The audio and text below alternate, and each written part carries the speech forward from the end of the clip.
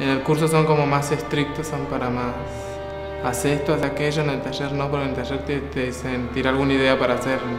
La relación entre el alumno y los profesores es distinta, es un grupito, no es uno, uno contra mucho, es un grupito. Si en la escuela se, se trabajaría como se hace en un taller, sería mucho más divertida, sería más práctica, más entendible. Tenés la oportunidad de poder eh, divertirte más, compartir más, eh, dialogar más, pero eso no quiere decir que, porque sea divertido no, no, vas a aprender. El aprendizaje siempre es diferente, pero aprendes igual.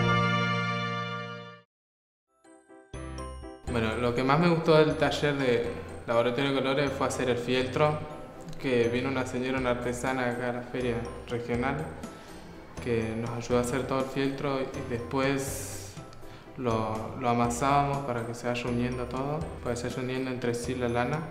Después lo, lo enrollábamos y lo dejábamos tirar. Cuando tuvieron la idea de teñirlo, hacer los colores con, la, con el propio pigmento de la verdura, me interesó bastante y después cuando fuimos al jardín a hacer arreglos chicos. Te evalúan cómo vos trabajás en, en clase.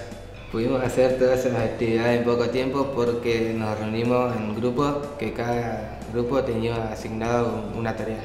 No siempre el mismo grupo hacía la misma tarea, sino que cambiaba cada clase.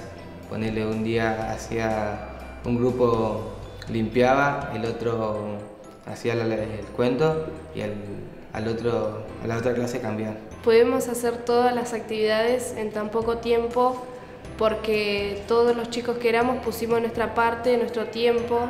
Este es el libro donde están todas las, cosas que hicimos. Otra actividad hicimos fuimos pintar eh, los escenarios que hicimos para llevar a una actividad en extraescolar que hicimos en el jardín. Y después fue que hicimos los muñecos. La obra que escribimos se llamaba Pupo y su celular y, trataba de que él solamente le daba el, tiempo, todo el tiempo de su, de su día al teléfono y no prestaba atención en las demás cosas. Hola chicos, ¿por qué no nos fueron a buscar? Sí fuimos, pero estabas con tu celular y ni nos viste.